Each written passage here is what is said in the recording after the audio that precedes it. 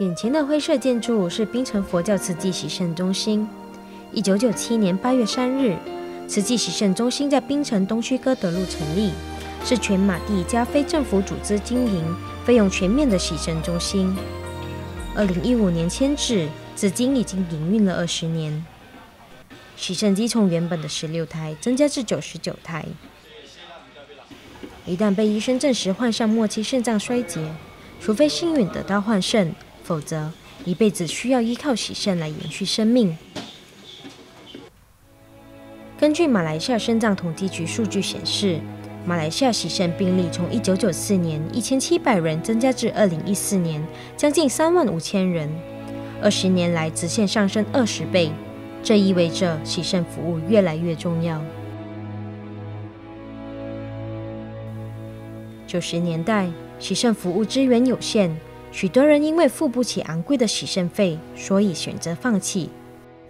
我们一般上上班族可能在一千出的薪水，或者千五块的薪水，那你洗肾一次三百五十，你一个月几乎是差不多要十二至十三次这样子。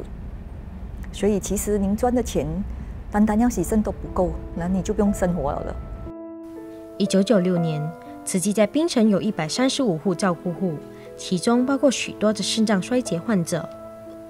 发觉到要洗肾的人很多，在政府里面排队排到不到几十，私人医院方面有些一家、两家、三家这样在洗，根本解决不了问题，而且很贵。二十年前如果要盖这个洗肾中心，社会的大德。而是连医疗的，就是行业的人就讲，如果要跟病人洗免费的话，其实这个费用会很大，应该没有办法呃保持下去。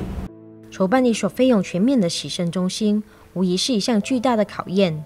但是，为了身处于贫病交迫的病患，成立费用全面的洗肾中心势在必行。尽管面对众多困难。但是慈济人并不畏惧。那么，透过呃开始是用环保，那么环保的话，就有办法进入更多的整个社会的大德们来扶持这个洗肾中心。为了筹募慈济洗肾中心基金，慈济职工化愿力为行动，筹办大型义卖园游会、人文之夜等活动，吸引大批民众参与献爱。纷纷肯定慈济大爱理念及实作精神。一九九七年八月三日，在万众一心的祝福下，全马地家费用全面的洗肾中心正式在槟城成立。